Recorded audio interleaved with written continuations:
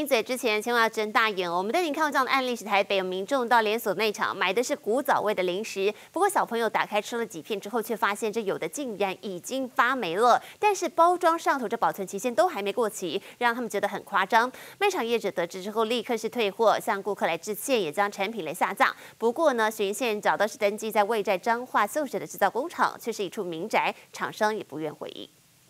一团白白的粘附在零食上，靠近一瞧，天哪，这居然已经发霉，而且还不止一片。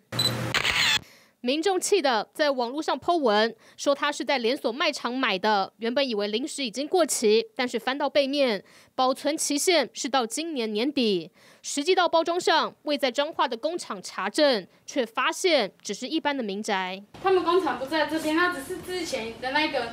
户籍借登记在后面，不知道哪其中一户。哦，所以不是这里哦。这边就对了。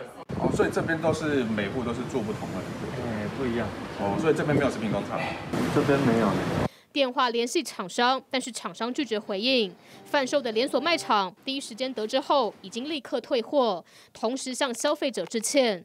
目前这项商品也已经下架，强调如果有疑虑，将会停止再跟这间厂商配合。但还在保存期限内，临时却发霉，是环境卫生问题，还是食材管理不当？卫生单位将前往稽查。记者林一峰，彰化报道。